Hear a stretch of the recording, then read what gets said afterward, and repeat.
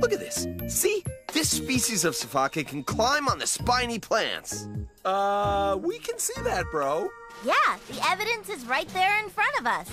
It's kind of hard to miss it.